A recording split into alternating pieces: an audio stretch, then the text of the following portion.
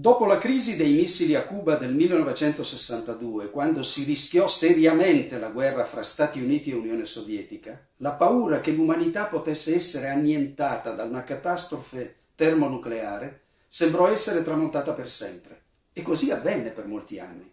Poi, dopo la caduta dell'URSS e del socialismo realizzato, vi fu tutto un fiorire di immaginifici racconti sulla fine della storia, considerato che il paradigma capitalistico aveva trionfato sul suo antagonista storico e che il mondo, secondo i mentori del capitale, avrebbe conosciuto solo pace e prosperità. Peccato che questo profluvio di sciocchezze ideologiche trascurasse che il capitalismo ha sempre convissuto con la guerra, di cui si è strategicamente nutrito per rilanciare il meccanismo di accumulazione messo in crisi dalle proprie interne insanabili contraddizioni. I decenni che abbiamo alle spalle e il presente che stiamo vivendo ne sono una lampante dimostrazione. Le guerre locali e regionali hanno ormai assunto una dimensione globale, dove i conflitti mossi da interessi economici e geopolitici delineano un quadro dirompente segnato dall'antagonismo fra imperialismi e subimperialismi caratterizzati dalla lotta per il possesso e il controllo delle materie prime.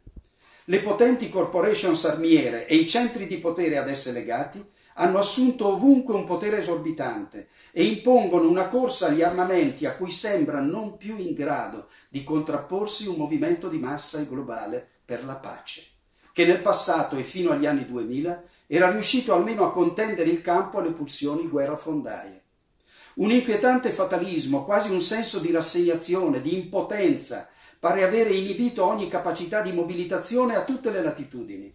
E invece nulla più della passività può trascinare il mondo oltre l'orlo del baratro. Ritenere che quanto sta accadendo davanti alle coste coreane non sia che una schermaglia tattica senza reali conseguenze e che tutto si risolverà in una pura esibizione muscolare è un errore di incalcolabile gravità.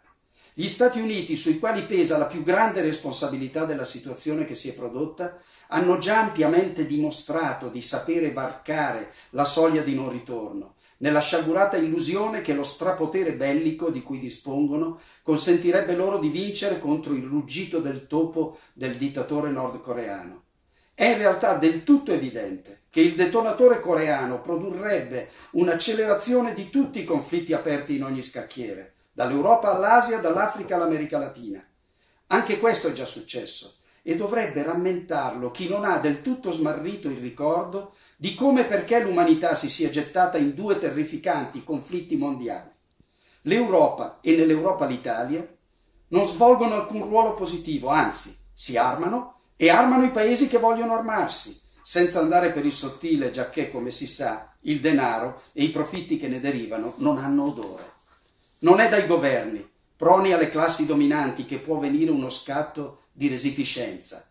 Può venire dai popoli, che le costituzioni post-belliche vorrebbero sovrani se smetteranno di subire la protervia irresponsabile di quell'1% di padroni universali che dopo averli depredati ed espropriati ora potrebbero prendersi anche le loro vite. Ricordatelo, è già successo.